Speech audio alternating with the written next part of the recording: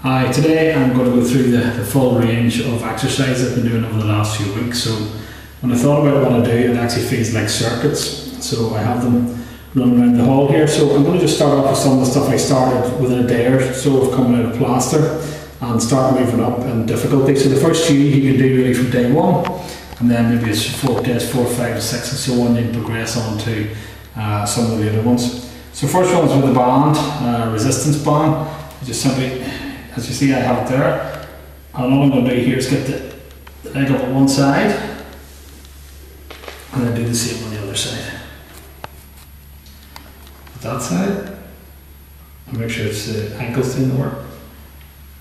And then that side. So the resistance does make that a bit difficult. And just keep doing that. Okay, then use the band itself. Again, this is one I do at home and in work, so it's very easy. Yeah, you can do anywhere. You just really pull on it, so you feel it on the calf here. So do that hold for a few seconds. You do that for 10 seconds, then release. Maybe do that 10 times. Hold, feel on the calf, and then release. Another way of doing this one is the same thing again. The only difference this time now is you're pushing your toes away, so you get even more resistance. So push your toes away, and again hold it. Again, you'll feel a bit on the, the bottom of the foot, but also you should be feeling some under here. And again, you're doing that, maybe do that 10 times.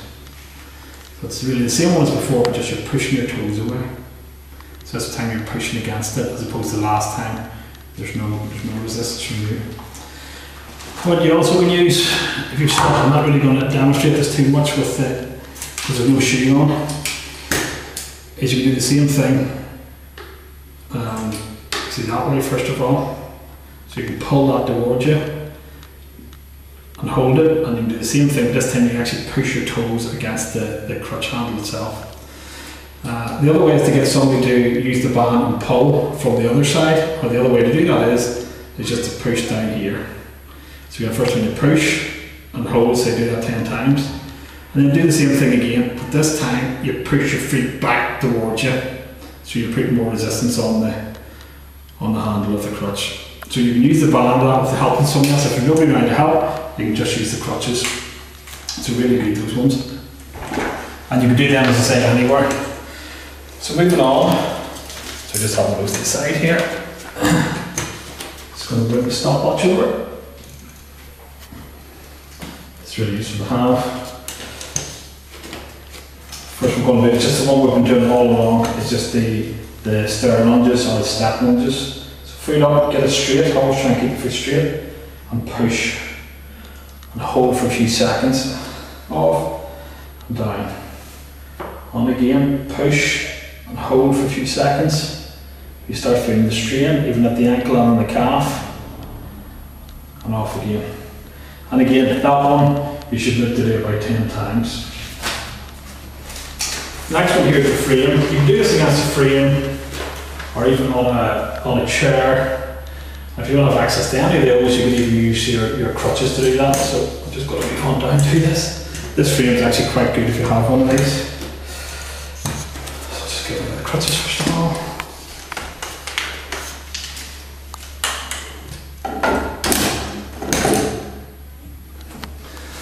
Okay, so there's a few exercises we can do here. The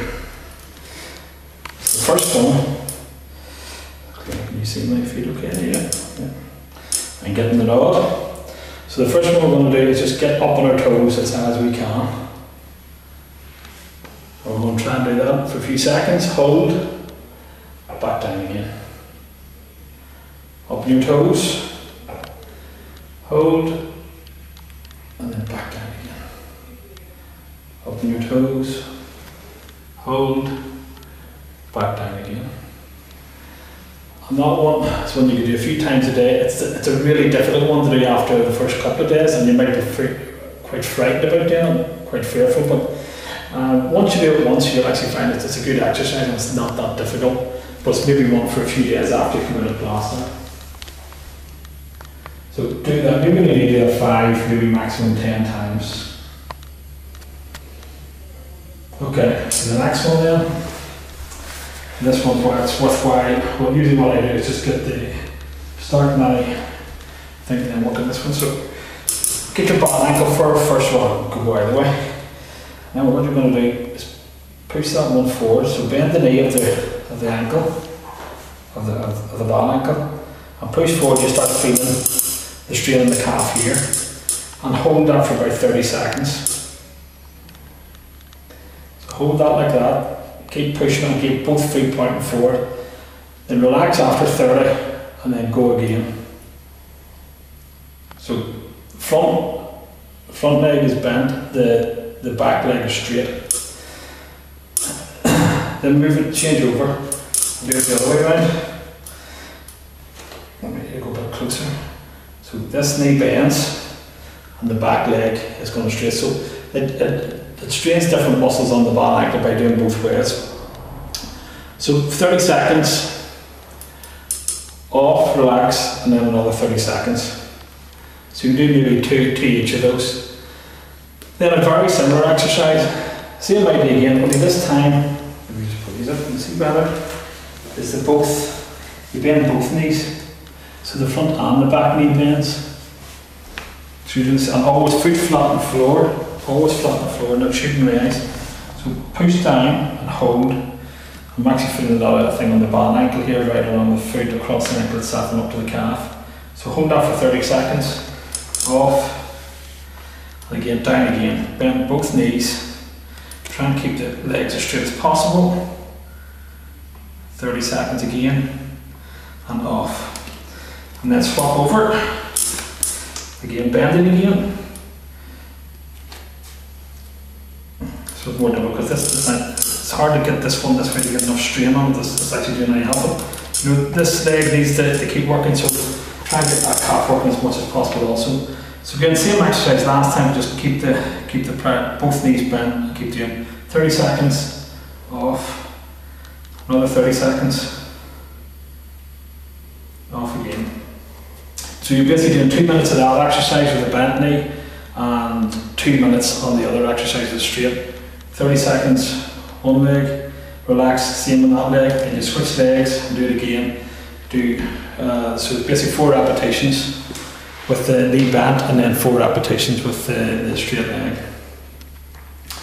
Okay, so I get the next one. Probably don't need the the time on it. It's maybe good time. You use the watch as much as possible, but some exercises you really are better keeping the 30 seconds. Most of them are just hold and release but that one particular thread. This one here is then the wobble board. Um, get the, the, first leg on, get the pressure, and then and then you can move the, the other leg up.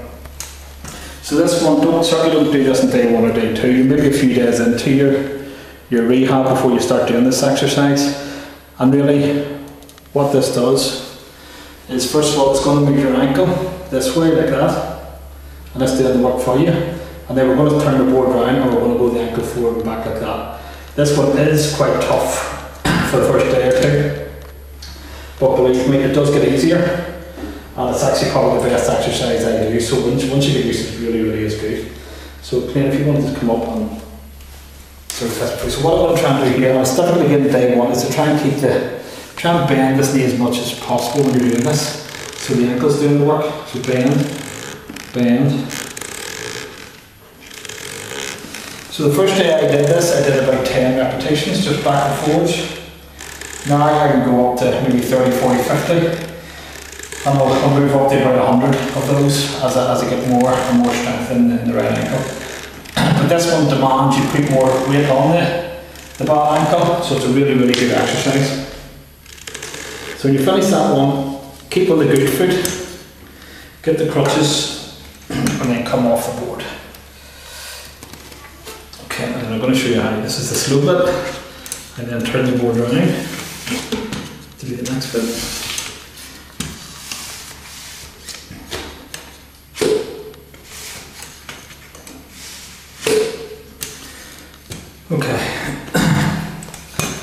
this one out, this food on first, and then the bottom food up to the top.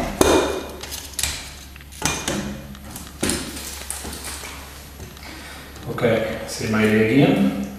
I'm going to push and try and bend the knee as much as possible. You might not be able to do this the first day or two, but as time goes on, you will be able to do it. Bend. So you're trying to get the ankle to do as much work as possible. Pierre looks up at me. What we're trying to do with that is we're trying to go that way this time. Get the ankle up and down. So those two actually aren't too bad. The next one is the one I really hate. But I don't know why, it puts more pressure on, so the bad angle's at the back this time. Same thing again. It puts a lot of strain on the calf, I find, it quite sore still.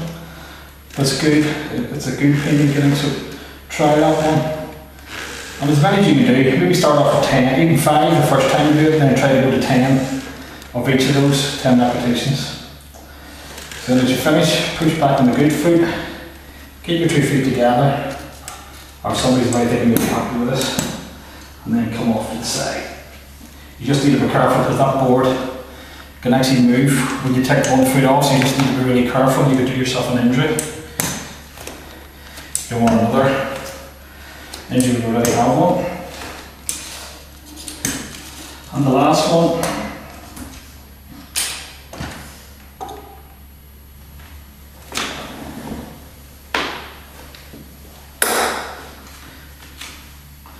It's just the old bicycle. Pedal exerciser. Okay, one. Sometimes you need help. Get this out.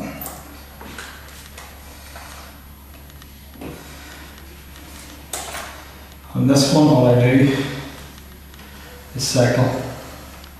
Keep on again, that's, that's getting the ankle moving. Mostly that way, but first time again, you're actually quite worried about doing it. But it's a really, really good exercise. And what I would try to do is do that twice a day for about five minutes. So as you can see, we've gone through quite a lot of exercises every day. I would build up and build up, so build up towards these over the past few days. All in, they probably take about 30 minutes. But the more you, if you could do them all, two, three times a day, you're really going to benefit. But even worst case, if you do it once a day, it's really, really going to be good for you. And then you really start to get the benefit when you walk also. But when you start off, don't overdo it. Do as much as you can. And each stage, challenge yourself to do a few more. So maybe start off with five. Well, at this one, maybe two minutes, then three minutes, then four, then five. Maybe you go straight into five minutes, but just do what you're able to do. And that's it. You hear about gym circuit, this is mind circuit, that's probably not the same as gym circuit, but believe me, when you finish it, it it's as tiring as any other circuit you're going to do. Great thing about it is it really does help as far as the ankle goes. Hopefully that's been useful for you, and really that's me for the day.